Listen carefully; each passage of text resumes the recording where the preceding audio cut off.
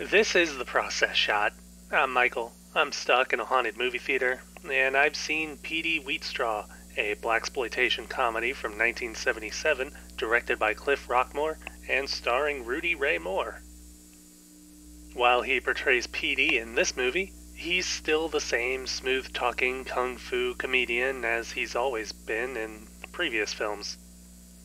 This time, instead of the cops, his rivals are Leroy and Skillet, whose comedy act, not to mention their lives, are threatened by Petey's own act opening soon. Petey refuses to compromise, so in retaliation they do the best thing they can think to do kill him. Surprisingly, it works, but Petey is given a second chance by none other than the devil himself.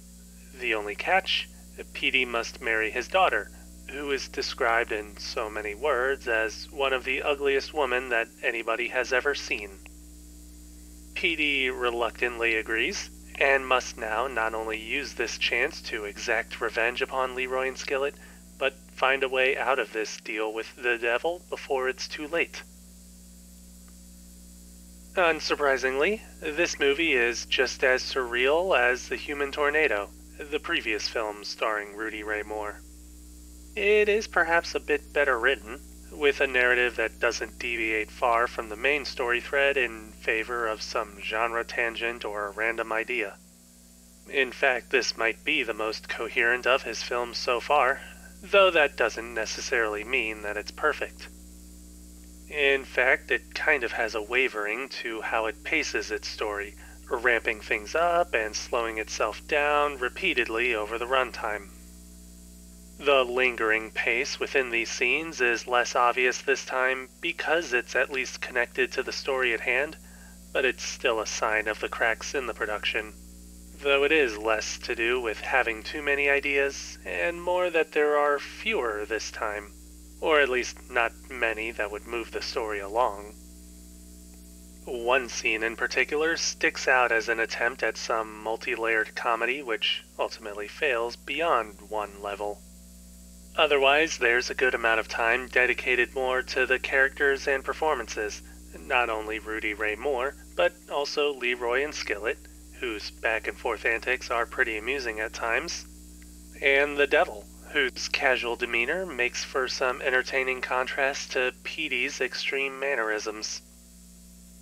The rest of the cast has their ups and downs, which is par for the course in a blaxploitation film like this, but naturally they do have their chance to shine, even if it's only just in action scenes or as an exaggerated role within the story.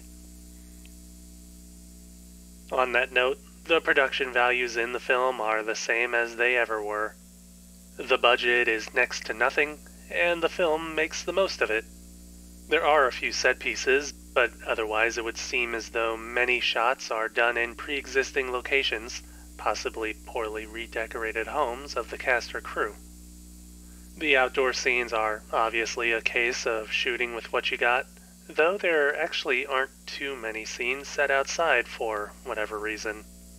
Anyways, the other usual production flaws and inconsistencies are present, from weak cinematography and framing of characters to editing and cutting that is essentially non existent as a creative tool. Hell, I'm pretty sure the movie was mostly assembled with as few cuts as possible, but I could be wrong. Maybe it's just that it feels like that.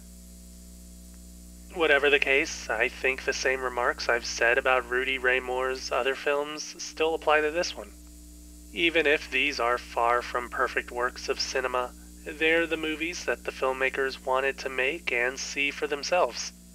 As they are today, they're relics of an era long since past, and they still hold up pretty well. For me, at least. Petey Wheatstraw Cliff Roquemore, 1977. Three and a half stars. I'd go ahead and recommend seeing it for yourself.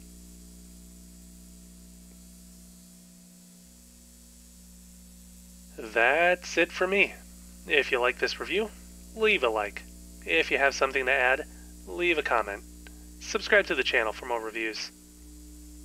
I think I went on a bit of a tangent at the end there. I didn't even say anything about the film itself. I don't know if I should make a trend out of that or not.